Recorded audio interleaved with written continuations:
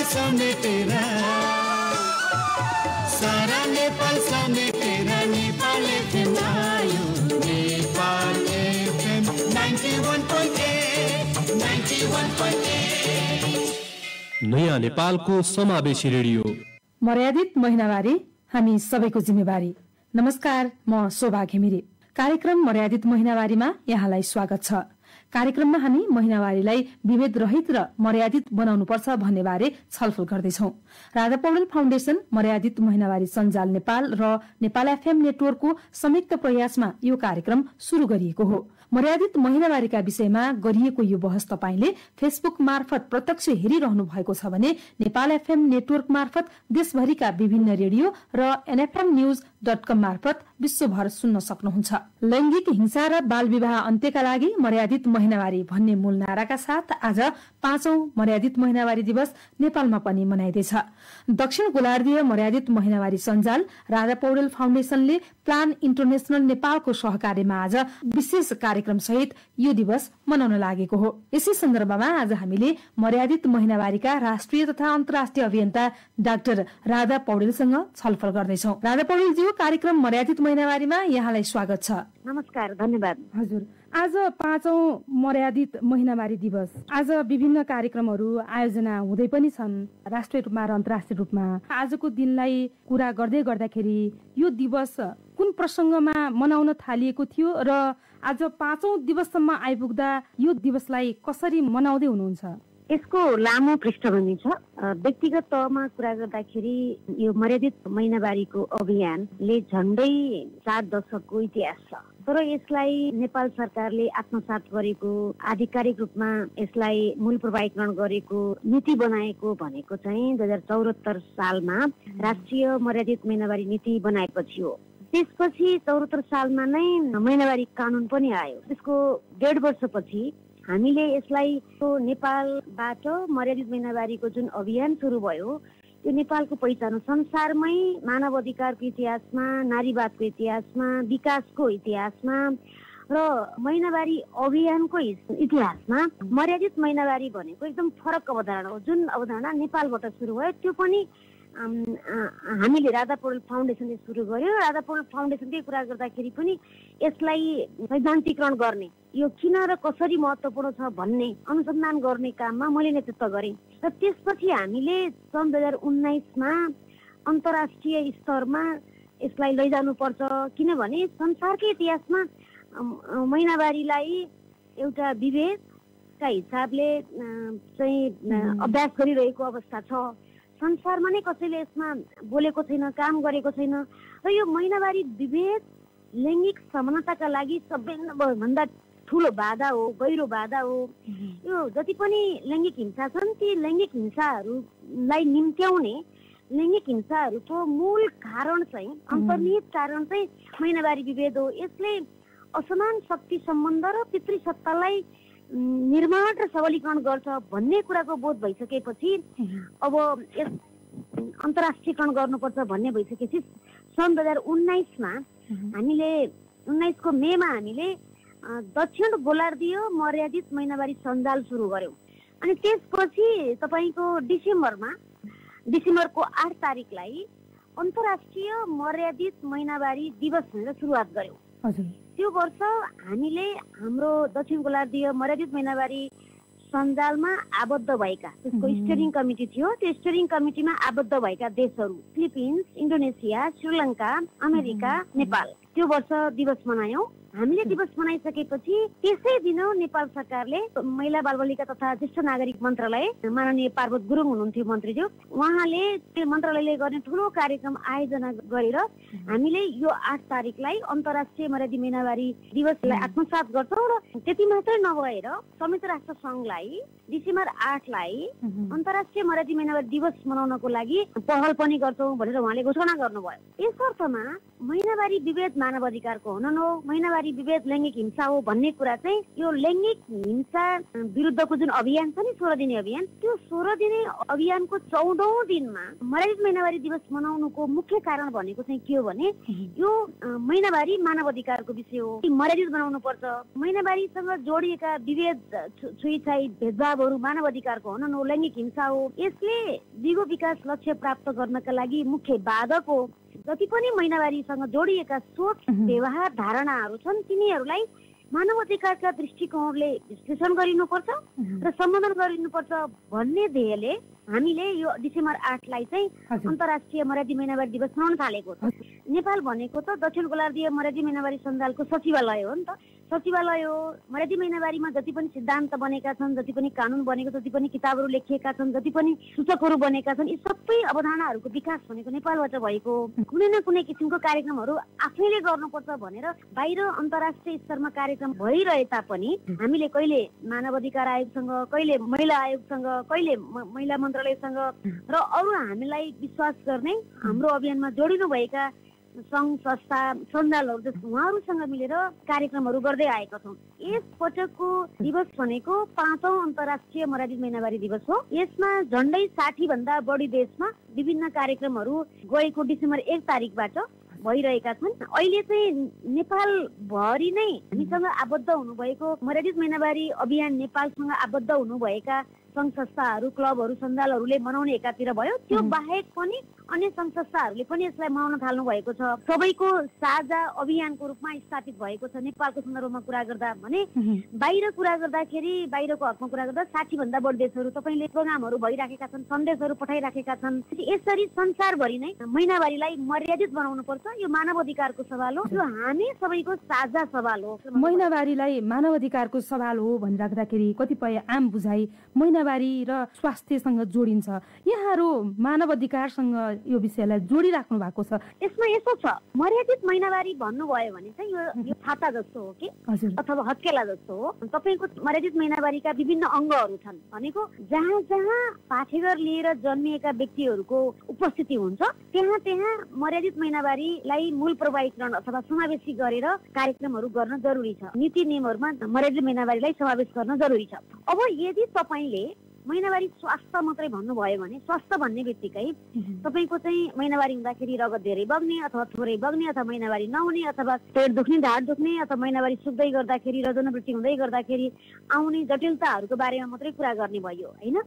त्यसको उपचार कसरी गर्ने भन्ने कुरा भयो। तर मर्यादित महिनावारी भन्ने दृष्टिकोणबाट मानव अधिकारको दृष्टिकोणबाट हेर्नुभयो भने मलाई पेट दुख्दै गर्दा मलाई ढाड दुख्दै गर्दा अथवा मलाई बान्ता हुँदै गर्दा मसँग त अरू अभ्यासहरू पनि जोडिएको हुन्छ नि त। उदाहरणको लागि मैले फुलमा पानी हाल्ने कि नहाल्ने? मैले यसको बारेमा मलाई पेट दुख्यो ढाड दुख्यो भनेर खुलेर मेरो बासँग मेरो दाईसँग आमासँग कुरा गर्ने कि नगर्ने? मेरो कार्यालयमा मलाई दुख्यो भने मलाई आज म घरबाट काम गर्छु अथवा म काम गर्न सकिनँ भनेर आफ्नो सुपरभाइजरलाई भन्ने कि नभन्ने? भन्ने कुरा चाहिँ मानव अधिकारको कुरा हो। क्या तपाईँले मर्यादित महिनावारी भन्नुभयो भने चाहिँ तपाईँको महिनावारी स्वास्थ्य महिनावारी व्यवस्थापन महिनावारी र जलवायु परिवर्तन महिनावारी र खेलकुद महिनावारी र शिक्षा सजिलो हुने भयो फास्ट फरवर्ड हुने भयो। तर तपाईँले स्वास्थ्य मात्रै भन्नुभयो भने तपाईँलाई सिटामोल खाने कुरा चाहिँ पेट दुख्यो ढाड दुख्यो भने नदुख्ने औषधि खाने अथवा हटोटर ब्याग लगाउने कुरा चाहिँ भयो। र हटोटर ब्याग दिने बेलामा चाहिँ ढोकामा ल्याएर राखिदिने ढोकाबाट ल्याउ भन्ने नहेर्ने होइन? अब पेट दुखिरहेछ औषधि ल्याइदिएको छ अथवा खानेकुरा ल्याइदिएको छ भने पनि ढोकामा राखिदिएको छ है तिमी झिकेर खाऊ अथवा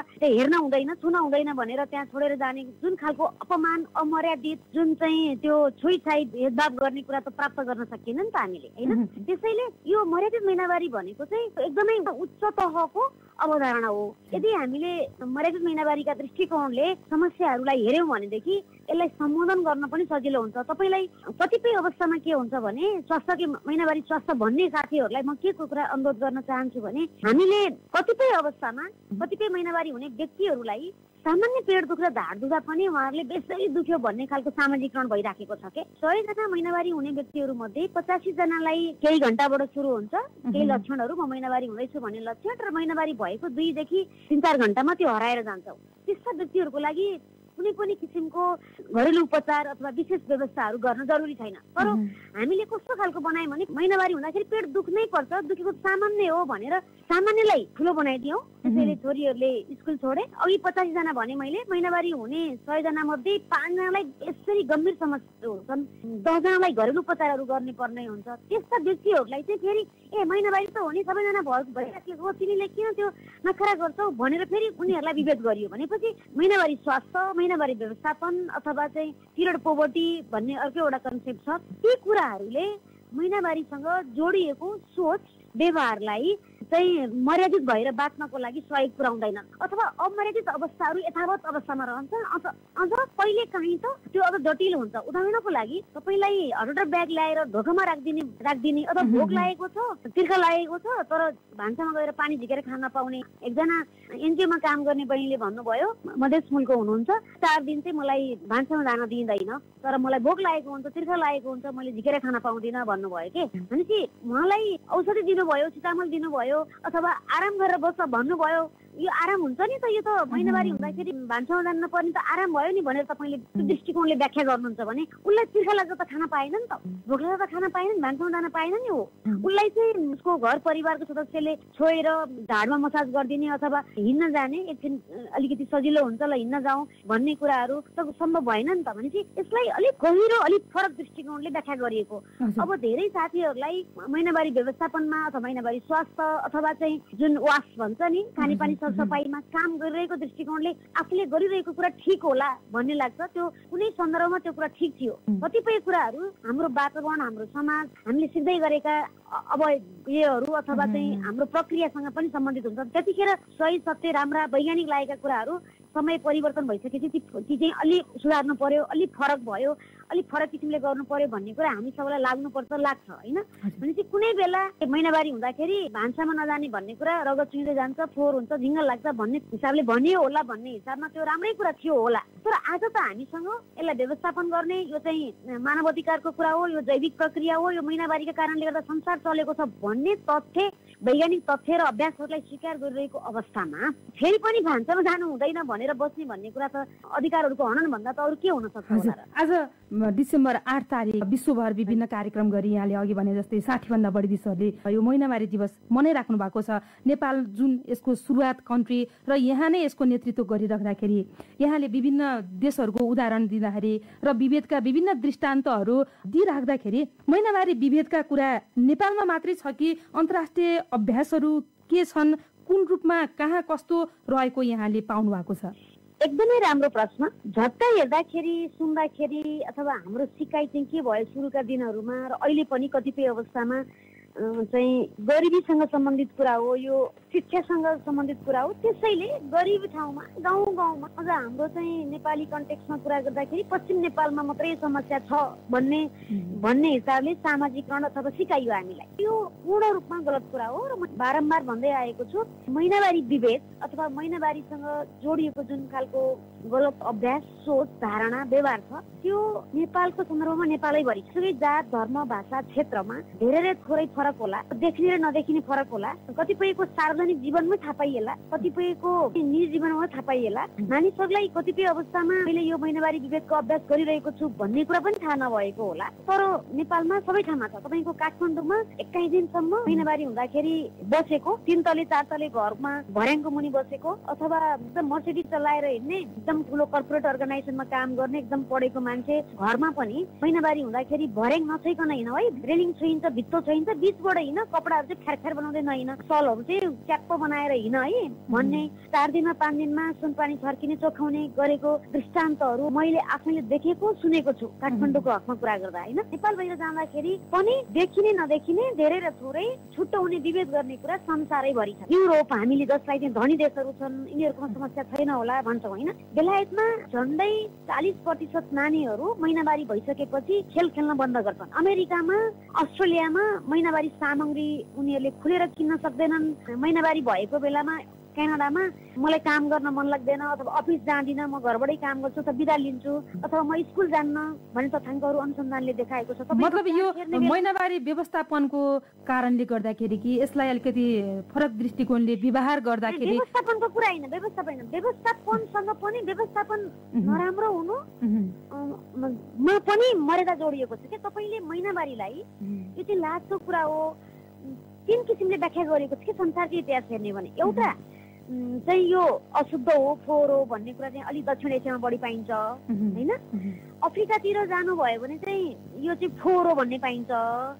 युरोपतिर जानुभयो भने चाहिँ यो चाहिँ विक अथवा कमजोर भएको अवस्था हो भने चाहिँ तिनवटा कुरा। अशुद्ध फोहोर र कमजोरको अवस्था हो भन्ने हिसाबले वैदिक कालदेखि तपाईँको एरिस्टोटल भन्छौँ नि हामीले दार्शनिकहरू।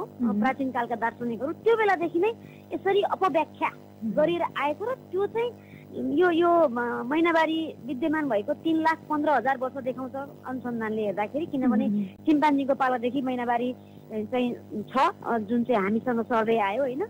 त्यो हिसाबले हेर्दा कसैले पनि यसमा खुलेर कुरा नगरेका कारणले गर्दा यो चाहिँ व्यवस्थापनसँग भन्दा पनि चाहिँ लाज हो डर हो यो कमजोर हो भन्ने कुरासँग बढी जोडियो कि? यो लाज होइन यो प्राकृतिक कुरा हो यो गौरवको कुरा हो भन्ने हुँदाखेरि घरमा हामीले चाडबाड आइसकेपछि यो यो आउँदै गरेको चाडलाई हामीले यति पैसा चाहिन्छ यतिजना मान्छे बोलाउने हो भन्ने एउटा सामान्य एउटा इस्टिमेसन हुन्छ नि त होइन? अथवा चाहिँ घरमा पुरुषहरू नै हुने बेलामा पनि हामीले पुरुषहरूलाई चाहिने दारी फाल्न चाहिने रेजर अथवा आफ्टर सेप त हामीले अरू सामान किन्दाखेरि महिलाहरूले पनि किनेर ल्याउँछौँ अथवा पुरुषहरूले किनेर ल्याउँदाखेरि ओ यो चाहिँ एक्स्ट्रा ल्यायो बढी ल्यायो भन्दैनौँ नि तर छोरीहरूलाई पट्टु चाहिन्छ छोरीहरूलाई चाहिँ टाला चाहिन्छ चाड चाहिन्छ भन्ने कुरा गर्नको लागि त छोरीहरूले लुकी लुकी भन्नु पर्यो कि खाजा खान दिएको पैसा चाहिँ बचाएर ल्याउन पर्यो होइन? कि भने चाहिँ अरू वैकल्पिक उपायहरू गर्नु पर्यो भने चाहिँ त्यसलाई मर्यादाको दृष्टिकोणले यो मानव अधिकारको विषय हो यो चाहिँ जैविक प्रक्रिया हो यसमा हामी सबैले गौरव गर्नुपर्छ। यही महिनावारीको रगतले हामी जन्मिएका हौँ भन्ने खालको सामाजिकरण नभएका कारणले गर्दा व्यवस्थापन अप्ठ्यारो भएको हो नि त भनेपछि। यो चाहिँ व्यवस्थापनको कुरा भन्दा पनि यसलाई लाज यसलाई कमजोरी यसलाई अशुद्धता यसलाई अपवित्रतासँग जोडेर हिँडिएका कारणले चाहिँ यस्तो भएको हो। र यो लाज डर कमजोरीले चाहिँ के ल्याउँछ भने तपाईँको यसले डर ल्याउँछ कि? डर ल्याउँछ हाम्रो स्कुल हाम्रो घर हाम्रो समाज सरकार सबैतिरबाट महिनावारी भनेको चाहिँ लाज डर हो भन्ने कुरा स्थापित गरिएको छ। हामीले यसमा बहस गरेका छैनौँ कुराकानी गरेका छैनौँ। कतिपय हकमा नीति नै छैनन्। तपाईँको प्रदेश सरकारहरू नगरपालिकाहरूको नीति नै छैन मर्यादी महिनावारीमा। भइहालेको ठाउँमा पनि यसमा घनीभूत रूपमा काम भएको छैन। आज मलाई एकजना मध्य प्रदेशको सांसदले एउटा कुरा भन्नुभएको थियो कि सञ्जय यादव। म नामै सम्झेँ मैले। वडा वडाले चाहिँ तामझामका साथ चाहिँ यो दिवस मनाउनु पर्छ भन्नुभएको थियो कि। भने चाहिँ त्यो हिसाबमा बहस कुराकानी छलफल भइसकेपछि पो योसँग कस्ता कस्ता कुराहरू सान्दर्भिक छन्। यो मर्यादी मिनाबारी एउटा सिनेमा हलमा किन जरुरी छ? मर्यादी मिनाबारी रेस्ट रेस्टुरेन्टमा किन जरुरी छ?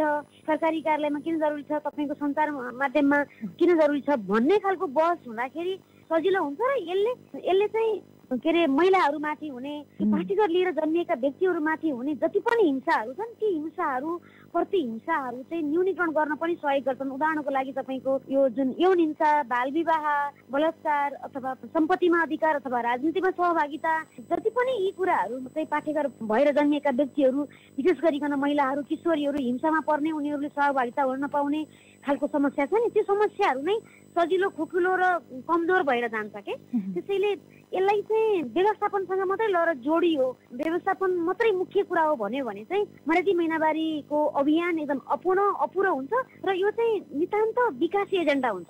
सबैले यसलाई अधिकारसँग जोड्ने मानव अधिकारका दृष्टिकोणले व्याख्या विश्लेषण र सम्बोधन गर्नुभयो। यो साझा सरोकारको विषय यो चाहिँ महिला पुरुष यौनिक अल्पसङ्ख्यक वृद्ध केटाकेटी सानो बच्चा पेटमा पेटमा हुर्किँदै गरेको गर्भमा हुर्किँदै गरेको बच्चा सबैको दृष्टिकोणबाट यसलाई हेर्न सक्नुभयो भने यसले साँच्ची नै प्रजातन्त्रलाई पनि बलियो बनाउँछ सुदृढीकरण गराउँछ समावेशीलाई जुन हामीले समावेशी समाज बेसी भन्छौँ नि त्यसलाई पनि साँचो अर्थमा समावेशीकरण गर्न सजिलो मद्दत गर्छ र हामीले साँचो अर्थमा न्यायपूर्ण र शान्तिपूर्ण समाज सिर्जना गर्न पनि यसले मद्दत गर्छ। यो यो मानव अधिकार नारीवाद विकासको इतिहासमा यो नयाँ दृष्टान्त हो नयाँ चाहिँ धार हो। नारीवादको कुरा गर्दाखेरि चौथो धारको चाहिँ यो पहिलो खुड्किलो हो कि? चौथो धार भनेर परिभाषित गर्नका लागि मर्यादित महिनावारीले एउटा ठुलो माइल रूपमा काम गरेको छ। यसलाई चाहिँ विकाससँग लगेर जोडियो भने हामीले अन्याय गर्छौँ। हामीले पाठेघर लिएर जन्मिएका संसारभरिका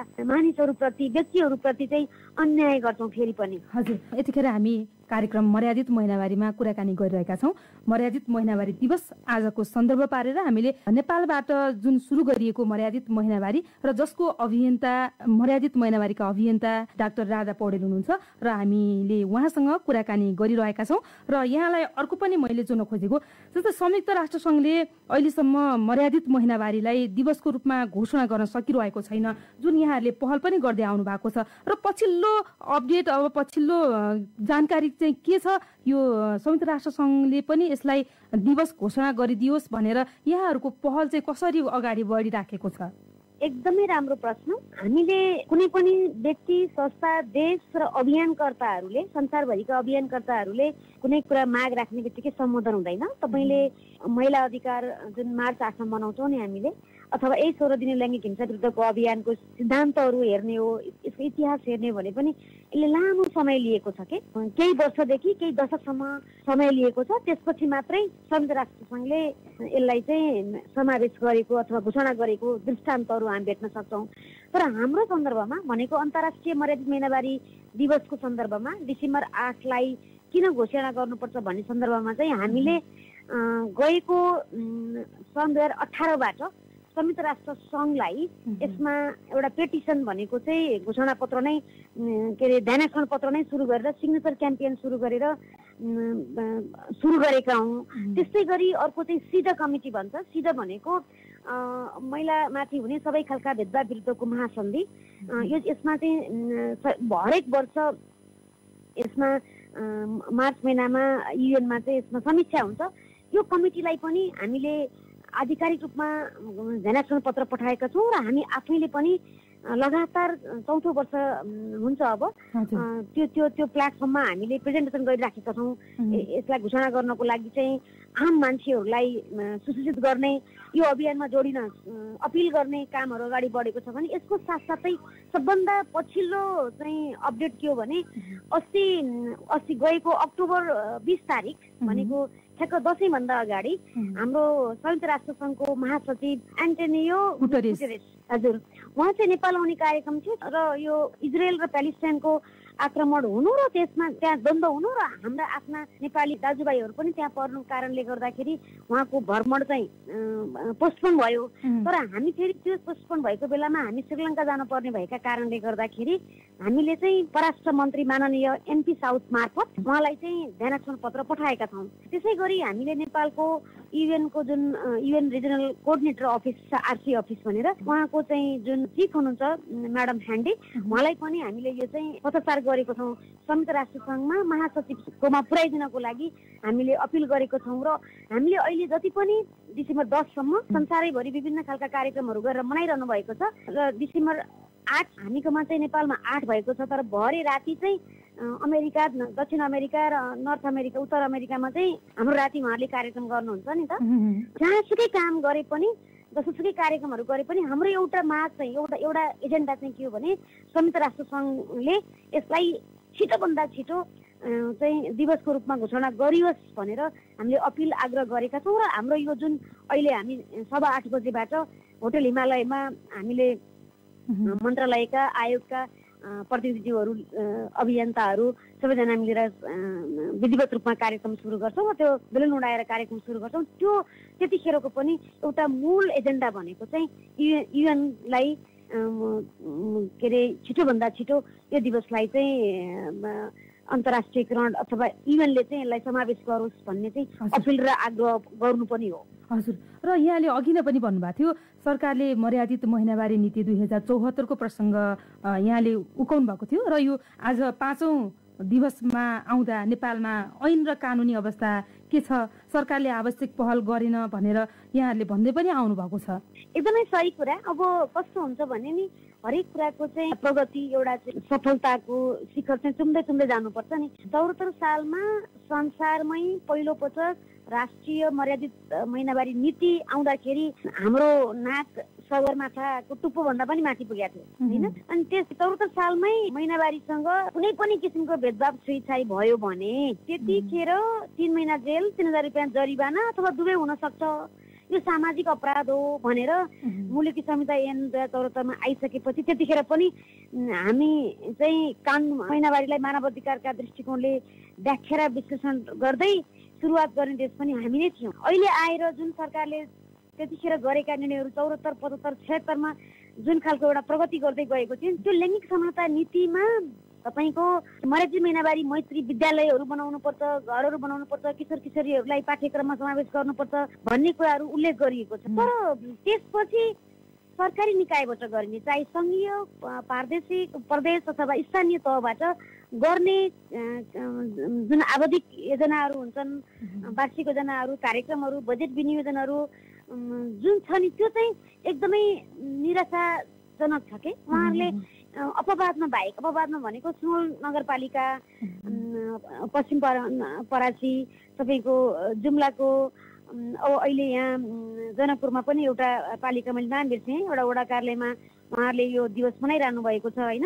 अपवादमा बाहेक यसलाई नेपाल सरकारले जुन गौरवताका साथ जुन चाहिँ नेपाल छौपडीको देश होइन मर्यादी मेनाबारीको देश हो यो मानव अधिकारको सवाल हो भनेर नयाँ सिद्धान्त यो एउटा समाजशास्त्रमा मानव अधिकारको चाहिँ इतिहासमा जुन एउटा नयाँ सिद्धान्त सुरुवात भएको छ नि त यसलाई चाहिँ आत्मसात गरेर घनीभूत रूपमा कार्यक्रमहरू गर्नुपर्ने थियो। महिला आयोग मानव अधिकार आयोगहरूले यसलाई चाहिँ अपिल गर्नुपर्ने नगरपालिका पालिकाले आफ्नो पालिकाभित्र रहेका विद्यालयहरूलाई परिपत्र पठाएर चाहिँ हरेक स्कुलले कार्यक्रमहरू गर्नुपर्ने थियो। त्यो त्यो हकमा त्यो दृष्टिकोणले हेर्दाखेरि चाहिँ नेपाल सरकार चाहिँ चुकेको छ चुक्यो भनेर चाहिँ चित्त दुख्छ। नमजा लाग्छ।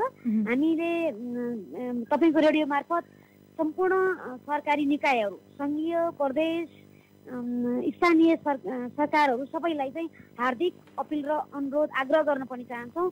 तपाईँहरूले यो नेपालको संविधानका संविधानको झन्डै दर्जनभन्दा बढी मौलिक हक अधिकारसँग सम्बन्धित अभियान भएका कारणले गर्दा यसबाट कोही कसै गरी पनि उम्किन पाइँदैन। यो सरकारको दायित्व हो भन्ने कुरा चाहिँ पुनः स्मरण गराउन चाहन्छु। हजुर। र जाँदा जाँदै अन्तिममा के भयो भने तपाईँले भने जस्तो महिनावारीलाई मर्यादित बनाउन सकिन्छ त? अब सजिलो गरी बुझ्नको लागि महिनाको पच्चिस दिन र पाँच दिन महिनावारी हुने पाँच दिनमा कुनै पनि किसिमले कुनै पनि खालको विभेद रहेन भनेदेखि हामीले चाहिँ महिनावारी चाहिँ मर्यादित भयो हाम्रो घर मर्यादित महिनावारी मैत्री भयो विद्यालय भयो भनेर चाहिँ महसुस गर्न सक्छौँ। घर कस्तो हुने विद्यालय कस्तो हुने कार्यालय कस्तो हुने संसद भवन कस्तो हुने सिनेमा हल कस्तो हुने भन्ने अथवा हाम्रो संरचना। हाम्रो चाहिँ संरचना कस्तो हुने मराठी मेनावारी मैत्री संरचना कस्तो हुनुपर्छ भन्ने सन्दर्भमा चाहिँ यसका आफ्नै आफ्नै चाहिँ सूचकहरू छन्। एउटा. सूचक पूर्ण रूपमा अर्को क्षेत्रसँग नमिल्न सक्छ। उदाहरणको लागि संरचना कस्तो हुनुपर्छ भन्ने सूचक र जलवायु परिवर्तनमा मराठी मेनावारीको भूमिका कस्तो हुनुपर्छ भन्ने सूचक चाहिँ सबै अर्थमा सबै सूचकहरू मिल्दैनन्। आधा आधी मिल्छन् र आधा आधी फरक गर्नुपर्छ। एउटा व्यक्तिगत तहमा त्यसरी विभेद पच्चिस दिन र पाँच दिनमा विभेद गरिएन भने मर्यादी महिनावारी भयो भनेर भन्न सकिन्छ भने अर्को चाहिँ संयुक्त राष्ट्र सङ्घले उहुँ, यो डिसेम्बर आठलाई अन्तर्राष्ट्रिय मर्यादित महिनावारी दिवस हो यो लैङ्गिक हिंसा हो यो मानव अधिकारको हनन हो भनेर जुन दिन घोषणा गर्छ त्यो दिन चाहिँ अब चाहिँ मर्यादित महिनावारी मैत्री उन्मुख छ है समाज भनेर आशावादी हुन सकिन्छ। हस् यहाँको महत्त्वपूर्ण समय र विचारका लागि धेरै धेरै धन्यवाद। हार्दिक नमन र आभार व्यक्त गर्न चाहन्छु। हवस् त यिनै छलफलसँगै कार्यक्रम मर्यादित महिनावारी आजलाई सकिएको छ। अर्को हप्ता ठिक यसै समयमा महिनावारीलाई अर्को सवालसँग जोडेर हामी बहस गर्नेछौ।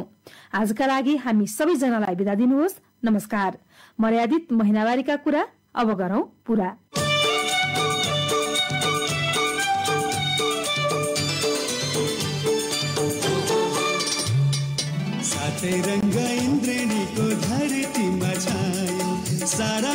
समेटेर सारा नेपाल समेटेर नेपाल फेमायो नेपाल एफएम 91.8 91.8 नयाँ नेपालको समावेशी रेडियो।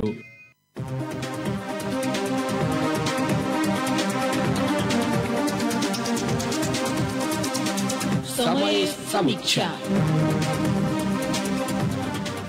नमस्कार। कार्यक्रम समय समीक्षामा तपाईँलाई स्वागत छ। प्राविधिक साथी नारदसँगै म इन्द्रसरा हामी कार्यक्रम समय समीक्षा हरेक दिन यसै समयमा लिएर आउने गर्दछौ र फरक दिन फरक विषयवस्तु उठान गरेर त्यसैको समीक्षा गर्ने गर्दछौ।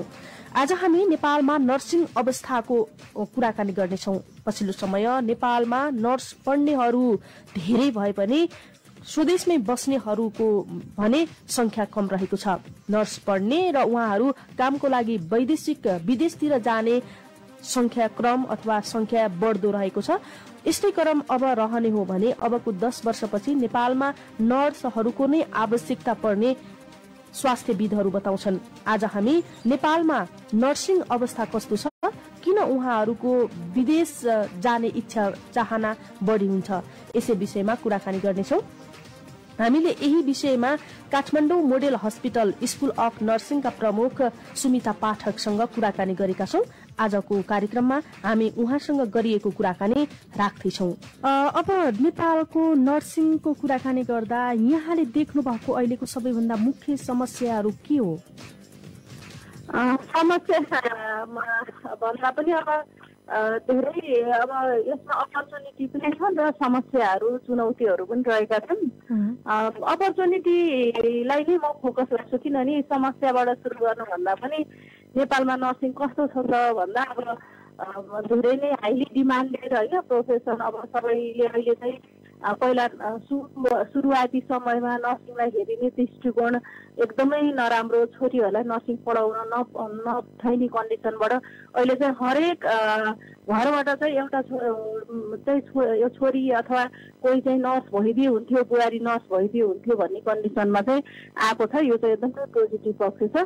र भर्खरै पनि चिकित्सा शिक्षा आयोगले इन्ट्रान्स लिएर रिजल्ट निकालेको छ। यति धेरै अब बिएससी होइन त्यसै गरी योभन्दा अगाडि पिसिएलको एडमिसनमा चाहिँ धेरै विद्यार्थीहरू चाहिँ पढ्न उत्साहित भएको देखिन्छ र लिमिटेड कोटाको कारणले उनीहरूले चाहँदा चाहँदै नै पढ्न पाएको छैन हुनाले यो आकर्षण चाहिँ निकै नै छ।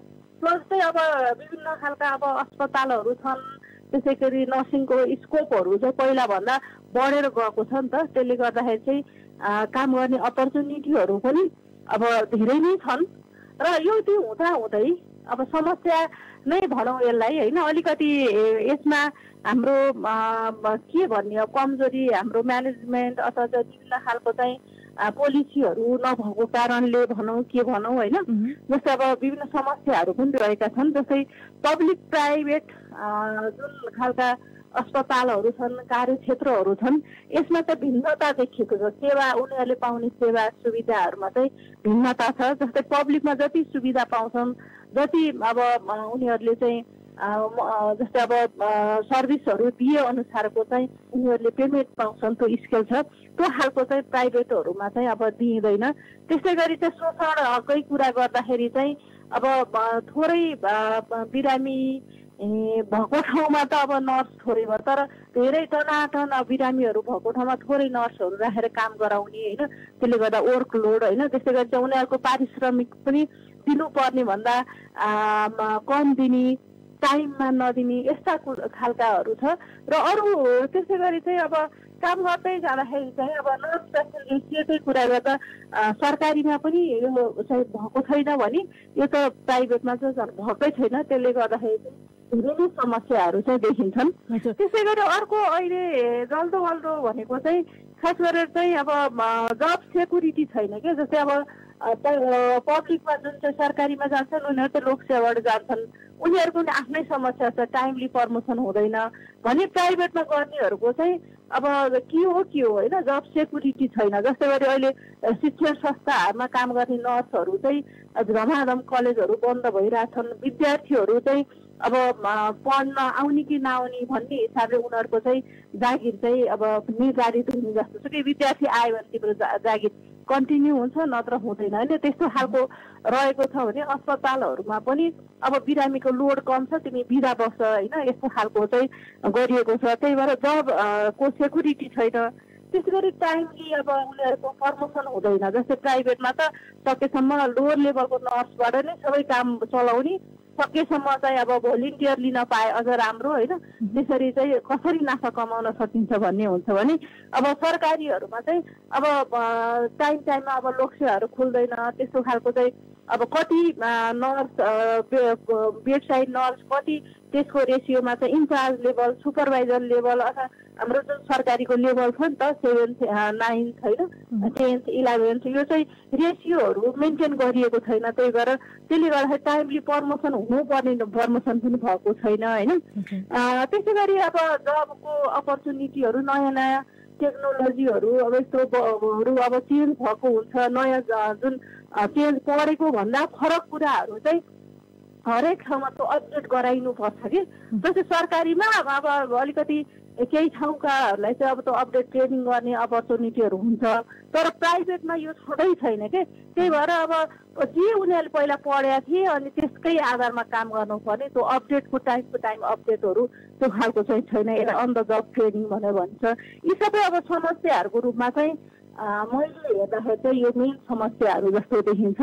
र यही कारणले गर्दाखेरि चाहिँ हाम्रो दिदीबहिनीहरू अब नर्स दिदीबहिनीहरूमा अहिले चाहिँ फ्रस्ट्रेसन के अब यहाँ नेपालमा बसेर केही हुँदैन होइन?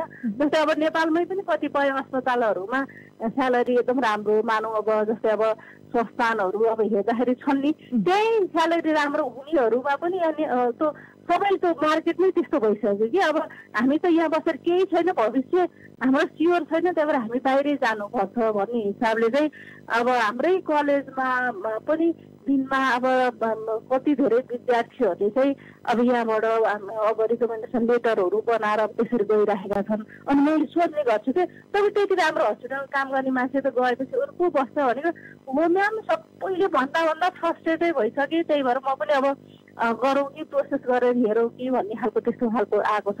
यो चाहिँ अब समस्याकै रूपमा चाहिँ रहेको हजुर। भनेपछि यहाँको कलेजको अलिकति कुराकानी गरौँ होइन? भर्ना दर पहिले चाहिँ कस्तो थियो अहिले चाहिँ कस्तो छ? मा अथवा तपाईँले भने जस्तै आकर्षण बढिरहेको धेरै मान्छे पढ्न आउनुहुन्छ कि अथवा आकर्षण घटेको? अब भनौँ न धेरै अब पढेर पनि के गर्ने? नेपालमा पनि काम पाइँदैन भन्ने अरूको पनि संख्या अहिले धेरै भइसकेको छ। तपाईँको काठमाडौँ मेडिकल कलेजको कुराकानी गर्दा कस्तो छ? हाम्रो चाहिँ काठमाडौँ मेडिकल कलेज होइन काठमाडौँ मोडेल काठमाडौँ मोडेल यहाँ हाम्रो चाहिँ खास नर्सिङको पहिला चाहिँ पिसिएल बिएससी नर्सिङ र बिएनको चाहिँ पढाइ हुन्थ्यो भने अहिले पिसिएल चाहिँ हाम्रो छुट्टिएको छ। अहिले ब्याचलर लेभलको मात्रै पढाइ यहाँ हुन्छ होइन। र खास विद्यार्थीहरूको आकर्षण मैले अघि पनि भने आकर्षण चाहिँ एकदमै धेरै छ। किनभने पिसिएलमा यति धेरै फोन आयो कि अब मेरो घरमा छोरीको यसो नाम निस्किएको थियो कहीँ सिट खाली छैन बुझिदिनु न भन्ने खालको चाहिँ यति धेरै आएको थियो। त्यही पनि त्यहाँ सिट खाली छ कि भनिदिनुहोस् भन्ने खालको त्यो आएको थियो भने चाहिँ आकर्षण धेरै छ। त्यसै गरी अहिले बिएससीको भर्खर चिकित्सा शिक्षा आयोगले इन्ट्रान्सले रिजल्ट निकालेको छ। बिएनमा चाहिँ के छ त भन्दा सबै अघि मैले भने अनुसार चाहिँ यहाँ बसेर गर्नुभन्दा बरु बाहिर गएर दुःख गरेर पढ्ने त्यही काम गर्न सजिलो हुन्छ भन्ने हिसाबले पिसिएल पढ्नेहरू धेरै बाहिर आकर्षित भएको हो कि भन्ने जस्तो लाग्छ होइन। त्यही कारणले फेरि अनि अहिले चिकित्सा शिक्षा आएको एक्जाम हुन्छ त्यसमा पास पनि गर्नुपर्ने होइन जुन तोकिएको हुन्छ त्यसले गर्दाखेरि चाहिँ कम पास भएका छन्। त्यो चाहिँ हाम्रो लागि चुनौती छ क्या। विद्यार्थी हाम्रो चालिसजनाको सिट छ भने कति विद्यार्थी आउँछन् त भन्ने खालको त्यो रहिरहेको छ भने बिएससी चाहिँ जुन अब प्लस टूबाट पढ्ने हुन्छन् प्लस टू साइन्सबाट उनीहरू चाहिँ अब अहिले लगभग सत्र अठार सिट चाहिँ अब एलो एलोकेट गरेको छ चिकित्सा शिक्षा आयोगले भने छुट्याइएकोमा चाहिँ अहिले पास हुने लगभग अडतिस सयजना पास भएको छन् भने ती सबैले त पढ्न पाउँदैनन्। जस्तै लास्ट इयरकै भन्नु पर्दाखेरि चाहिँ यति धेरै विद्यार्थीहरूको त्यो बिचरा म्यासेज उनीहरू फलोअप गरिरहेछन् म्याम हाम्रो भर्ना कहीँ मिल्छ कि बुझिदिनुहोस् न भनेका छन् होइन? अब त्यस्तो खालको उनीहरूको सुन्दाखेरि चाहिँ अल्टिमेटली हामीले यहाँ पाएनौँ भने हामी अब इन्डिया नै जानुपर्ने भयो है भन्ने खालको त्यो खालकोहरू छ भनेको। मतलब यो यो सबै के हो त भन्दा उनीहरूले पढाइप्रति आकर्षित छ क्या। यो आकर्षित हुनुको कारण के छ त भन्दा अहिले यो जुन कोभिड पछि एकदम नर्सेसहरूको डिमान्ड बढेको छ नि त ग्लोबल डिमान्ड नै बढेको छ होइन। त्यसले गर्दाखेरि चाहिँ धेरै अब नर्स पढ्यो भने चाहिँ बाहिर गए पनि राम्रो अपर्च्युनिटी पाइन्छ भन्ने आकर्षण धेरै देखिएको छ। अब हाम्रो अलिकति के छ त भन्दा हाम्रो नेपालमा पनि त चाहिन्छ नि त नर्सहरू त होइन। अहिले पिसिएलका कलेजहरू चाहिँ जुन चिकित्सा शिक्षा आयोगले जस्तै आफ्नै सय बेडको अस्पताल हुनुपर्ने र पूर्वाञ्चल र सिटिभिटीको प्रोग्राम एकै ठाउँमा चलाउन नपाइने भनेको कारणले गर्दा चाहिँ धेरै पिसिएलका कलेजहरू बन्द भएका छन्। र अब पिसिएल बन्द हुनु भनेको त पहिला एक सय आठ नौ कलेजबाट चाहिँ जति निस्कन्थे अहिले त त्यो त फिफ्टी पर्सेन्टमा नै कम भइसक्यो होइन घट्यो। भनेपछि अबको एक वर्षपछि निस्कने नर्सको सङ्ख्या नै थोरै हुन्छ कि पहिलाको भन्दा। र यसै त थोरै निस्कन्छ त्यसमा पनि बाहिर जाने ट्रेन धेरै बढ्यो भने त पछि नेपालमै पनि त्यसले समस्या ल्याउँछ। नर्स अहिले नै कति धेरै विज्ञापनहरू खुल्दाखेरि चाहिँ अब राम्रो राम्रो ठाउँमा सरकारीमा चाहिँ दिने धेरै हुन्छ नि तर प्राइभेट अस्पतालहरूमा चाहिँ बिसजना मागेको छ भने दस पन्ध्रजना भन्दा आउँदैनन् भन्ने सुनिन्छ भनेको मतलब चाहिँ यो चाहिँ हाम्रो देशको लागि एकदमै चुनौतीको रूपमा चाहिँ रहेको छ होइन? त्यही भएर यो अब समस्या भनेकै समस्याले नै फेरि सबै कुराहरू चाहिँ अब गर्छ यो हुँदा हुँदै अब के गर्ने त भन्ने हिसाबले सबैतिर यो कुराहरू परेको छ। यसलाई कसरी समाधान गर्न सकिन्छ भनेर समितिहरू पनि बनेका छन्। र अब यसलाई चाहिँ चाँडै नै अब समाधानतिर चाहिँ जानुपर्छ जस्तो लाग्छ। यहाँको चिन्ता चाहिँ केमा हो त? अब विदेश नर्सहरूले राम्रो नेपालमा अवसर नपाएर विदेश जानतिर लायो र नेपालमा नर्सको संख्या आवश्यक पर्यो अथवा भने जति पाइएन भन्ने हो कि? अथवा आयोगले नै त्यहाँ जुन भन्नुभयो नि अघि यस्तो व्यवस्था गर्यो त्यसपछि यस्तो समस्या आयो भन्ने हजुरको चाहिँ खासमा कहाँनिर मेरो मेरो भन्दाखेरि जस्तै आयोगले आयोग पनि अब सरकारी निकाय हो त्यसले पनि केही न केही अब क्वालिटीको कुराहरू पहिला एकदम नै मिसेको थियो। नर्सहरू चाहिँ सुई लाउन नजान्ने भए यस्तो भन्ने खालकोहरू हुँदा हुँदा धेरै कुरा नर्स मात्र होइन डाक्टरदेखि सबै खालको चाहिँ अब त्यो समस्या आएको भएर चाहिँ त्यसलाई क्वालिटी कन्ट्रोल गर्ने हिसाबले चाहिँ आयोग बन्यो। त्यो आफैमा राम्रै छ। तर त्यो आयोग आयोसँगै चाहिँ समस्याहरू अब त्यसले गर्दाखेरि चाहिँ अरू समस्याहरू आए कि जस्तो कन्ट्रोल गर्ने हिसाबमा चाहिँ अब कलेजहरू बन्द हुन पुगे होइन त्यसले गर्दा नर्सहरू कम उत्पादन अब हुनु त भयो नै होइन जति अब चाहिने हो त्योभन्दा कम हुन्छन् कि भन्ने कुरो अर्को चिन्ता मलाई एकदमै चिन्ता भन्दा पनि अहिलेको सबैजनाले सोच्नुपर्ने कुरा चाहिँ नेपालमा ब्याचलर किन पढ्ने पढेर के हुन्छ होइन? अथवा नेपालमा बसेर केही छैन भन्ने खालको चाहिँ एकदमै नर्सिङमा मात्र होइन सबै विधामा अहिले त्यस्तो छ कि? अहिले प्लस टू पछि ब्याचलर पढ्ने अलमोस्ट कलेजहरूमा चाहिँ स्टुडेन्टको नम्बर एकदमै कम भएर गएको छ अरे। यो देशकै लागि चुनौती हो कि? अब नर्स मात्रै नभइकन होइन। यो भनेको मतलब चाहिँ यहाँ त विभिन्न खालको अब फ्याक्टर्सहरू अब असरहरू छन् नि त जस्तै पोलिटिकल अनस्टेबिलिटी होइन। अब यी सँगसँगै चाहिँ अब नर्सिङकै कुरा गर्दाखेरि चाहिँ अब हाम्रोमा चाहिँ अब नर्सिङको चाहिँ राम्रो छ है। हामी यहीँ बसेर हाम्रो देशमा केही गर्न सकिन्छ। हाम्रो जब सेक्युरिटी छ हामीले चाहिँ अब टाइमली प्रमोसन पाउँछौँ हाम्रो स्यालेरी